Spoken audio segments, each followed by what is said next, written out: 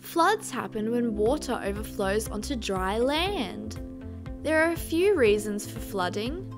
Sometimes an area gets more rain than usual. When that happens, rivers and lakes can't hold all the water, so it spills over onto the land around them. Floods can also be caused by changes we make to the environment. For example, when we build a lot of buildings or roads, it can change the way water naturally flows. This can stop the water from soaking into the ground. When a flood occurs, it can change the way the land looks.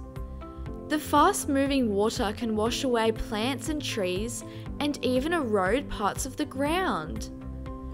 It can also damage things we build, like roads and buildings.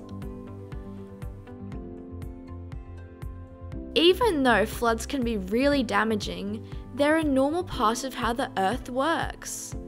They've been happening for millions of years and show us how the planet keeps changing. While floods can be bad for people and things, they're just a natural part of how the Earth's environment works.